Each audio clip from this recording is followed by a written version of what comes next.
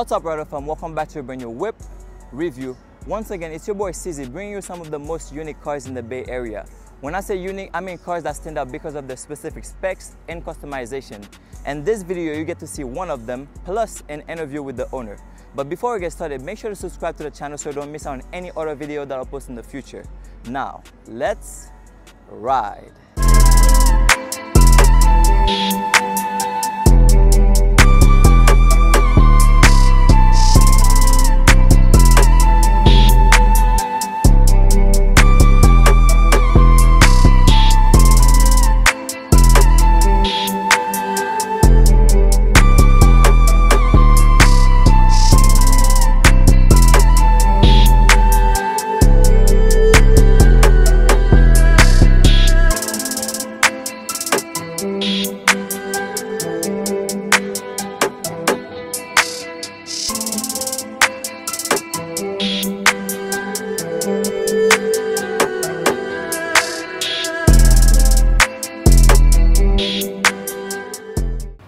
So now for which color is this car actually? I, I don't want to That's say called white. ceramic matrix gray metallic. Oh my goodness. this is not white, all right? And so uh, what can you tell us about your car? I can tell you a little bit about my car is that when I first ordered it, I was in question because of everything being a mid-engine. I waited 19 months for this car. Mm-hmm. I, this is a 2020. I uh, got it, the fourth one to come in Ferman Chevrolet in Tarpon Springs. And the one thing that he was talking about, what is attractive to this car, is the fans that come up to take a look at it. Still today, three years old, it is still attracting people to come up and take a look and ask questions about it. That's what's nice about it. So now what's the current value of yours? Mine is about, my insurance company has insured it for 98000 Okay.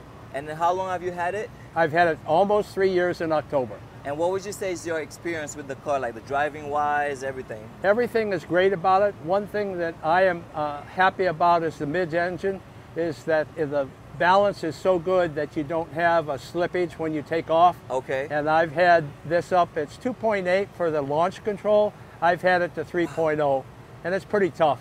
I get a little it nervous is- when I go is- do that. It is not easy to launch the car. Yep, it is not easy to launch a car. That is you correct. need a lot of reaction for that, but that's great. Three seconds, that is just amazing. But on that note, what is the current output of your car? The, the total output is 495 too, just 495 like as his. well, okay. No, no extras on that. Okay, and have you done any modification to yours? Just a modification of the side rockers and a few things, just minor things. Okay. I want to keep it as stock as possible. One thing that I noticed around you guys' car is that you guys have like a sticker that's looking like the Punisher. Is that right? Okay, yeah, that's the uh, the Corvette Racing Team logo. Oh, It's That's my idol. Okay. Similar uh, resemblance to the uh, to the Punisher to the logo. Punisher, okay, yes. okay. Yeah, that's the Corvette Racing Team logo. All right, perfect. And perfect. it's Jake. His Uh, name is Jake. Jake. Jake, All right. Yeah, that's what All they right. Call it. Yeah. All right, amazing. All right, thank you so much for your time, guys. That was amazing. It has My- been a pleasure, uh, I'm pleasure. sure. Thank you.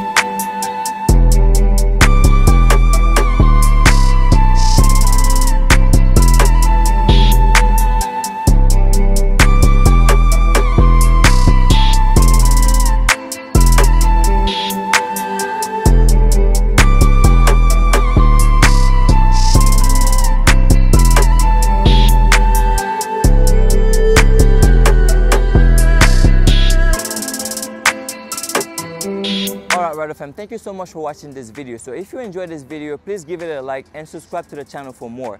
Until we meet again, let's keep riding.